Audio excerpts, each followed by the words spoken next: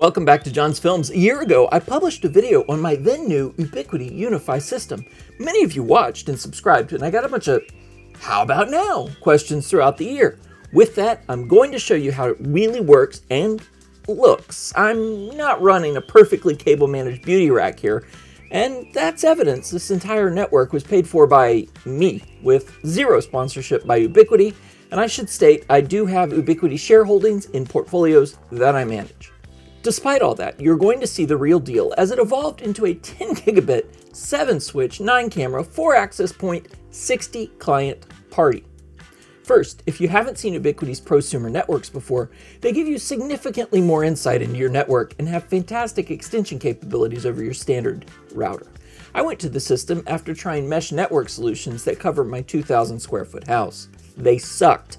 I wanted to be able to capitalize on my gigabit internet and be able to connect to my server for remote file storage at 10 gigabit speeds. Prior to this solution, I've run everything from a cable modem's packaged router to Netgate's pfSense devices. TLDR, nothing has been as stable, as powerful, or as easy to use as the UniFi system.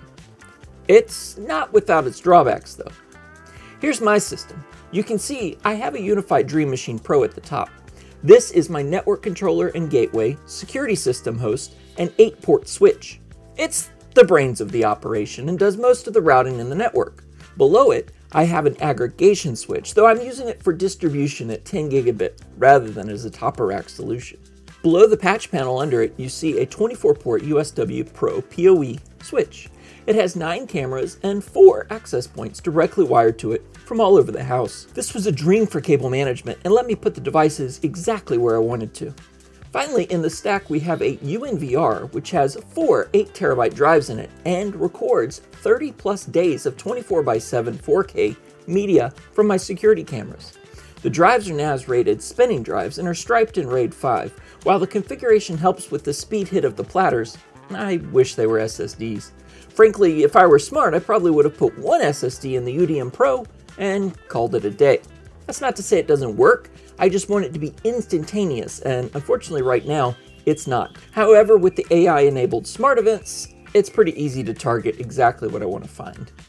Traversing the network under the 24-port switch, here you can see cameras, which are G4 Pros, and then the access points of which I have a U6 Pro, a U6 Lite, and a U6 Long Range. I plan to release a video on how I tuned these in the future, so be sure to subscribe. I have them executing seamless hands-offs at this point. Further along the switch, I have a run to my living room entertainment center. It terminates at a PoE light switch that pulls power from the 24 port and connects my smart TV and Apple TV directly to the network. Overkill? I think not. The eagle-eyed among you may have noticed I enabled link aggregation between the aggregation switch and the 24 port this is entirely unnecessary and likely introduces a performance hit as the system decides on how to organize the traffic, but who cares, it's fun to play with and it's cool to see it say 20 gigabit. Before I get too far, the aggregation switch is a layer 2 switch, meaning it doesn't control IP-based routing and routes that traffic up to the UDM Pro for routing decisions. Sure, it would be better if it did, but uh, 10 gigabit speeds, it only costs $269 plugged into it via direct attach copper, DAC.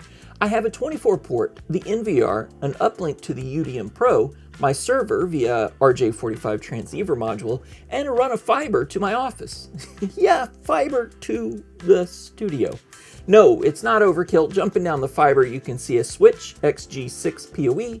This is my 10 gigabit connection into my editing rig, two gaming computers, another entertainment center switch for TV, Apple TV, Xbox, and PlayStation, a Flex HD AP, and a Switch Lite 16 PoE. John, this is getting stupid. To make sure I understand it, you have a UDM Pro to an aggregation switch to an XG6 Lite to a Lite 16 PoE and a separate PoE entertainment switch? At what point do we call this overkill? Okay, I, I already have several times, but this is required. You see, the Lite 16 is hosting lighting controllers, four Raspberry Pis I have functioning as a Kubernetes cluster. Nerds among us, let me know if this is of interest for a video. We've covered the physical network. You can see it's grown significantly over the year, but this isn't the whole story. The power of the UniFi system isn't just the hardware. The software has undergone significant changes this year, and I think it's much more user friendly than when I originally picked it up. I really like the security goodies that have been added, like built in honeypots, better VPN support, and what appears to be an improved testing methodology in the releases. My network's been really stable of late, despite a lot of releases. A drawback for many, however, is the way users connect to the solution when away from the host network. You see, if I want to administer the network remotely, I can, but it comes at a cost. Ubiquiti hosts what is effectively a dynamic DNS solution with credential management in their data center.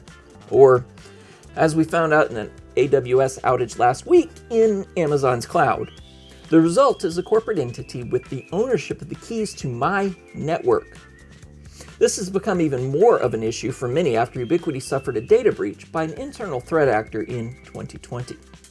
I have determined I still trust Ubiquiti with my password and use two factor authentication for a further layer of security.